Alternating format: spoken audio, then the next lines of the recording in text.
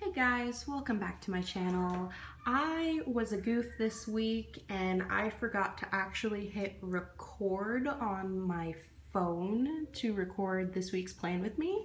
So instead you get a school notebook setup. So in a different video that I'm gonna upload the day after this one, I originally said that I was going to be using an Erin Condren notebook until I get the notebook I want. Well, I completely changed my mind. I'm not going to go for a Leuchtturm as the end game. I'm going to be using my large Cahiers sized Jonelifish trifold notebook in Pink Mermaid with some custom silver pearlescent color added in because normally Pink Mermaid just has like the gold instead of the silver flecks too.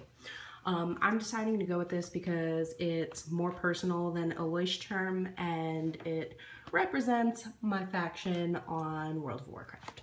So anyway, when I open it up, first up you'll notice I have a standard sized traveler's notebook insert and this is, I have to skip over the inside cover because my address is there, but I have a standard size insert from Bohemian Paper Mama is her Instagram. Her Etsy shop is Boho Cottage.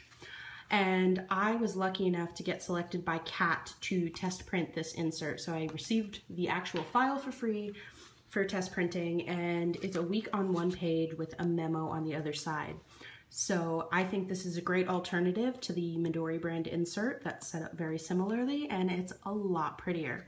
It's also available without the arrows and the feathers, but I opted for them because I think they're pretty. And what I'm gonna be using this for is I'm gonna be using this to keep track of the things we do each day and some notes on it just so I can blog about it better after the fact or vlog even. Uh, next up, I have a six pocket folder from Annika Hanby.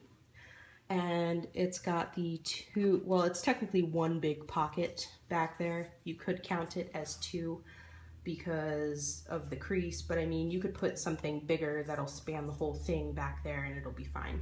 And then a pocket here, a pocket here, and same on the other side.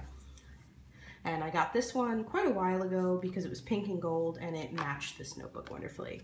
Uh, next up is a, forget the brand, Piccadilly. It's a Piccadilly lined notebook and it's off-white colored pages. I normally don't like lined paper. I'm usually a blank or grid girl, but I have this notebook, so I'm just gonna use it up. And then when that one's used up, I'm gonna be switching into, oh gosh, that's my address. Um, when I switch out of this one, or when I fill up this one, I'm going to be switching into this blank Fabriano notebook, which I am pretty excited about because I love the paper quality in these way more than like Piccadilly or Moleskine. But yeah, and I also have two bookmarks. One I'm going to be using to mark where I am in my notebook, and the other one I'm going to be using to mark which week I'm in in this little memory keeping one. And that is all for my school notebook setup. And thanks for watching.